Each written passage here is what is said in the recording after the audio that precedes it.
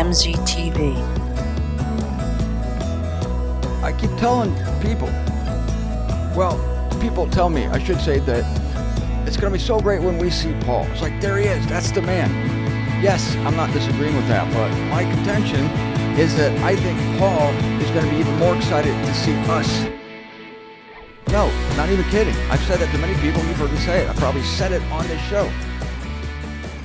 Well, he'll tell you himself, Paul, like, he'll tell me anyway. I can hear him, you can't, but yes, that we're at the tail end of the apostasy. He was at the beginning of it. We're at the tail end of it. Am I right? Yes. What? No, no, we don't have concubines. No, I'm not even kidding. I'm not even kidding you. We have done this without concubines. Paul, not only that, we're not even allowed to look at them.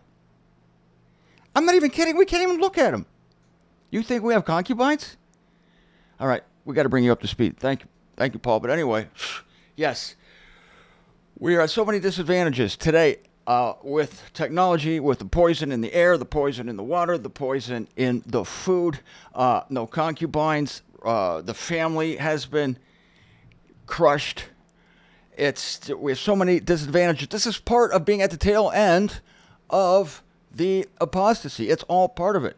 Paul lists the whole shebang there, right there in 2 Timothy chapter 3.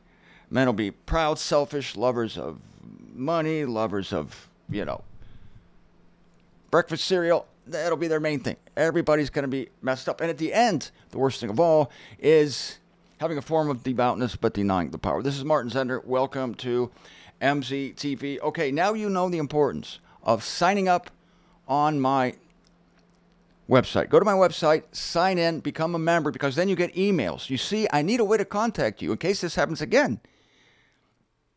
You saw what happened here, and people were panicked because where's Martin? He's not on YouTube anymore. Well, if you signed up on my website and gotten on the email list, then you will be assured by us. We will be sending you messages. It's a way to communicate with you. You will see a link down here to sign up, and you get some free stuff. I think you get a free report called What is a Believer, which is going to be coming out as a book. So get on that email list, please. You get some other another free something or other. And no, not a signed, not a Paul's autograph. No, he's gone now anyway. So furthermore, the reason I thought I was getting away, the reason I thought I could skate with YouTube was that I I muted the ticklish sections. There was not one controversial word on MZTV 894 that I did not mute. But apparently, it was naive of me to think that I could outsmart the the algorithmic demons of YouTube by adjusting my audio. No, no, far more sophisticated. It was my ignorance. I apologize. They, they had warned me once, and they said, This is a warning. Next time you're going to get a strike. I thought, Well, I'll just turn down the volume. Ha ha. No, they, they have X ray vision. So I'm going to avoid that in the future. Don't worry. I will not get a second strike, let alone a third strike. All right. So now, speaking of the Apostle Paul, I have mentioned several times over the years how he gave his work to God he dedicated his work to God. When he died, he was alone in prison, not a friend.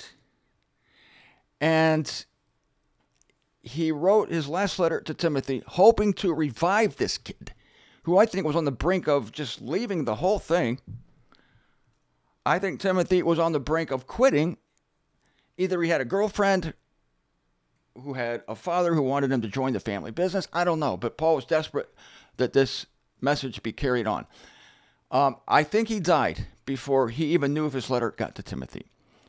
And I think that Paul, and I think that Paul didn't even know if his other letters, you know, little letters like Romans, first letter to the Corinthians, the letter to the Galatians, the letter to the Ephesians, I don't think he was absolutely sure that those letters were preserved.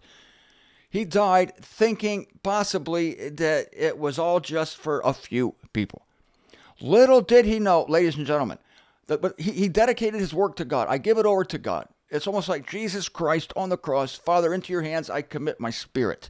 Paul committed his work to God. Look what God has done. Paul, talk about faith. Paul had faith that God would honor his work. If Paul could see it now, that 2,000 years later, we're still talking about his work, we're still analyzing every detail of Romans. His letters are in the most popular, best selling book in the world that nobody understands. I mean, they named a city in, in Brazil after him, Sao Paulo, and they have a giant statue dedicated to him in Sao Paulo. He would barf on the street if he saw his statue in Sao Paulo and everything they have done to him. But he would rejoice that we are still talking about him. He would love it. He would be absolutely amazed that 2,000 years have gone by. And not only were his letters preserved, but they're bound in a book of which there have been printed millions of copies, and we are analyzing his every word. Did God honor Paul? Did God take to heart Paul's humble, faithful assertion that I give my work over to you, Lord? Whatever I did, I know that in you it's not in vain. But when he died, it seemed like it was in vain. When Jesus Christ died, is tempted to think, tempted to ask maybe, is this in vain? And now to us. Is it not tempting for you to look around you, see the dire circumstances you're in, to see the really humiliating circumstances you're in? Your body humiliates you. Maybe your your job is humiliating you. Your family is humiliating you. Just your general circumstances in life.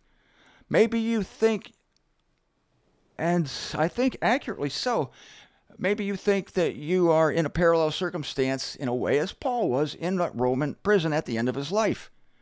Some of you may literally be at the end of your life, but don't worry, you're not going to die. You're going to be snatched away, okay? It's imminent, imminent. Paul's been asleep since he got his head chopped off in Rome. Not a bad way to go, as I've said. If I had to choose a way to go, that would be awesome. Just great almost better than dying of natural causes. I would say definitely better than dying of natural causes. Natural causes suck. You can quote me on that. So, you're feeling like you're also in prison in a sense. You can't get out of your body, though you desperately want to. You can't get out of the situation you're in. Everybody's in some terrible situation that they wish they could just be out of. If I were out of this situation, I hear you. I know what you're saying. I've said the same thing. If I could just be out of this situation, everything would be fine. You want to snap your finger and just be delivered. Delivered. Was Paul delivered from prison? In a way, yes. He was delivered by death. Forget that for a minute. That was not too encouraging news. Um, we're going to be delivered by the snatching away. Well, you, but you did think for a while that it was going to happen in your day. Right. But then when did you realize that it wasn't? when you were in jail? Not not until then. Okay, were you okay with that? I didn't think so. Well, a lot of us think you're okay with it because I mean you're the apostle Paul. You're great. You have great faith. Yes, true. He's still in the flesh. He's saying he's still in the flesh and he still longed to see Christ. He did not want to die. Paul did not long for the death state. He longed to be with Christ, to be with his Savior and Lord. I understand that. Thank you.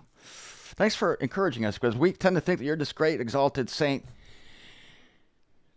Well, I mean, yeah, I know, right? You are a saint, but I mean, exalted in that you'd had like almost no feelings. You were above humanity. Right, that's what I thought. Okay, yeah, thank you. No, the guy was not above humanity. He longed to be to be delivered from his earthly vessel, and he longed for his circumstance to change. But here's my point. His circumstance did change. While he's been sleeping the sleep of death, that's an analogy. You're not really sleeping in death, but it's like you're asleep because there's no consciousness. What has God? God has been pretty busy for 2,000 years packaging Paul's work, inspiring people to still pursue Paul's work, to understand it, to grasp the evangel of the grace of God that the first century saints grasped, who were Paul's friends, who were members of the ecclesias, to whom he wrote the Ephesians, the Romans, the Corinthians, the Galatians. And did I mention the Colossians? Don't worry, I'm not going to forget the Colossians. I know, I know you like, but you didn't like them as much as the Philippians. True? Uh, don't worry, I won't tell them. What we think is a wasted life, what we think is a discouragement, God is now, while we're living. See, He's doing this while we're living. He's gathering up all these amazing things that have happened because we've been alive. Think of It's a Wonderful Life with uh, Tremor Store. Tremor Store. It's a Wonderful Life. Think of all the things. You may be think looking back at your life and thinking, what a waste. But you have no idea how many lives you've changed for the better. You have no idea how many people you've blessed. You have no idea of the things you've done. And God is storing it up, just like He did for Paul. Storing it up. Wait do you see what I've done with your life. You may think it's nothing. You may be discouraged. You may think you're going to die and it's all going to go to waste. You're not even sure after you died. Well, not that you're thinking about it, but uh, you're not even sure if your letter's going to make it to Timothy. You're not even going to sure what they did with Romans. They kept it. They kept Romans. Yes, you know that now. They kept Romans. And all the other ones. Anyway. God's going to do the same thing with you. You can put your faith in Him. He will not disappoint you.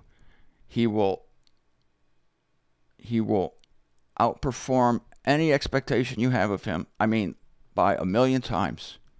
And you're going to be just as shocked as Paul. This is my point. You're going to be just as shocked as Paul when you rise to meet the Lord in the air and you see what God has done with your sorry, air quotes, wasteful, air quotes, miserable, air quotes, life.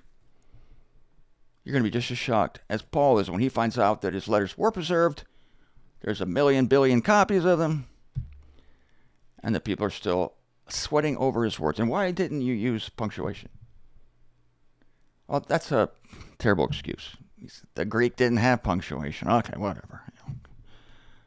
So be encouraged. God is faithful. He's gathered your tears. He's going to pay you back lavishly for all the tears you've shed. He's gathered your good works, many of which you don't even know what they are. You don't even know what they are. God's going to remind you. It's going to be a great day. The confetti's going to fly. The party horns are going to blow. And